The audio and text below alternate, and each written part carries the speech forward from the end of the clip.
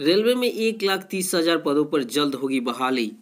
Hello दोस्तों, मैं हूँ इंताफ और आप देख रहे हैं इन्फॉर्मेशन कैसे। आज हम लोग इस वीडियो में बात करने वाले हैं रेलवे में एक लाख तीस हज़ार पदों पर बहाली जल्द होने वाले इसी के बारे में ये बहुत बड़ी अपडेट है। अगर आप करते हैं रेलवे की तैयारी तो यह खास करके आपके लिए न्यूज़ है। तो चलिए पूरे डिटेल्स में जानते हैं कि कब से कब तक आवेदन होगा और आपको क्या करना होगा। तो चलिए मैं आपको बतला दूँ, यहाँ पे देखिए हिंदुस्तान पेपर का न्यूज़ कट है। इसमें दिया गया है बड़ी अपडेट रेलवे वैकेंसी से रिलेटेड तो चलिए देखते हैं पूरे न्यूज़ को देखिए। तो यहाँ पे लिखा हुआ है, रेलवे में चार श्रेणियों में विभिन्न पदों पर बहाली के लिए बम्पर वैकेंसी निकाली है। देखिए, चार श्रेणी में, चार कैटेगरी फोर कैटेगरी में यह बहाली आई हुई है। देखिए तो पहला कैटेगरी में जैसे नॉन टेक्निकल है, एक पैरा मेडिकल स्टाफ है मिनिस्ट्रियल और टेक्निकल पदों के लिए। यानी चार कैटेगरी में यह बहाली आई हुई है। आप यहाँ पे आवेदन कर सकते हैं। देखिए, अगर बात करें तो कुल पदों की तो देखिए, कुल पद यानी एक लाख तीस हज़ार पदों पर नियुक्तियाँ होगी।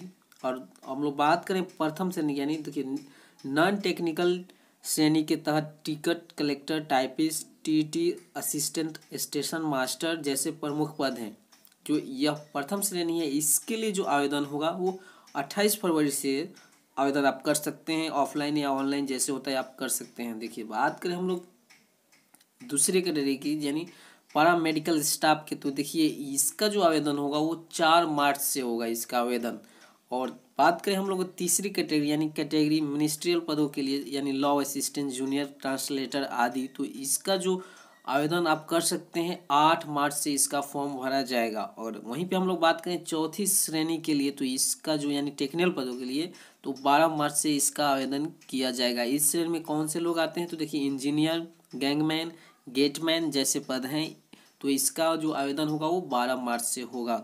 यहाँ पे मतलब ये विशेषज्ञ बतलाते हैं कि जो लोग तैयारी कर रहे हैं, उनको अभी से तैयारी में जुट जाना चाहिए और पूरा मतलब प्रैक्टिस सेट बनाना चाहिए ताकि उनका मतलब उनको कामयाबी जल्द से जल्द मिल सके। तो इस वीडियो में इतना ही। अगर वीडियो पसंद आया तो लाइक करें, शेयर करें और कमेंट करें। कोई भी डाउट्स हो तो अगर आपको इंडिया में किसी भी जॉब से रिलेटेड कोई भी अपडेट चाहिए तो इस चैनल को सब्सक्राइब कर सकते हैं। आपका वीडियो देखने के लिए बहुत बहुत धन्यवाद।